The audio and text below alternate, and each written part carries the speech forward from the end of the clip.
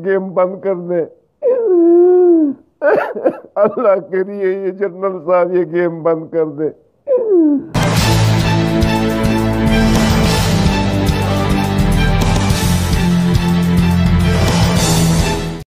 امن ټي وي افیشل چینل درنو مینوالو السلام علیکم دوستانو جان حبیب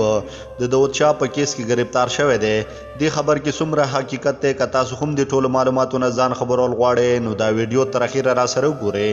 کوم ملګري چې زمونږ د امن ټي وي آفیشل چینل کې نوي دي نو مهرباني وکړي زمونږ د امن ټي وي آفیشل چینل درسره ضرور سبسکرایب کړي خوا کې ورسره د ټلۍ نشان هم ووهي دوستانو جان حبیب چې یو ډیر مشهور سوشل ورکر دی چې همیشه به د پښتنو په نوم جنګیدلی دی چې چرته هم پښتنو سره څوک دوکه یا فراډ وغیره کوي نو جان حبیب هغه ټول سوشل ورکر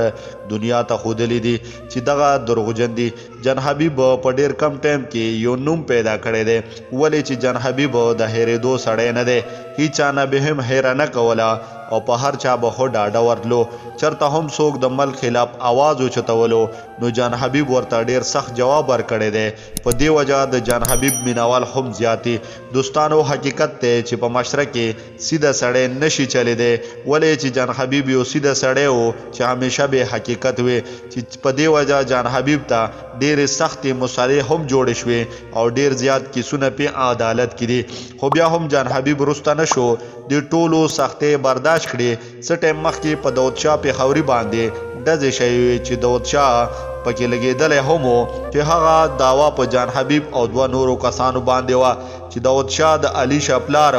یو خپی نه هم معذور شوی دی خو دا ثابته نه شوه چی داود شاه باندی ډزی چا کړی وی او نه یی تر اوسه پوری څوک ګرفتار کړی دی. جان حبیب نن سبا په سوشل میډیا باندی هم ډیر زیات کم راځی چی معلومیږی دسی چی جان حبیب باندی څه مشکلات راغلی دی جان حبیب په لایو ویډیو کی پرون راغلی وو چی په خپل کور کی لاهور کی موجود وو دوستانو دا وو موږ سره د نن ورځی د جان حبیب په باره کی نوی معلومات تر بلی ویډیو پورم په لوی الله سپارم د خپل ځان ډیر خیال ساتی د الله پابان.